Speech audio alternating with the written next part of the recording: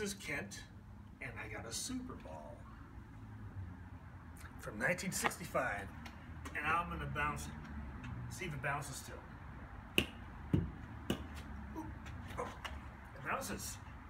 Oh, oh, oh. Okay, that's enough of that. Stop it now.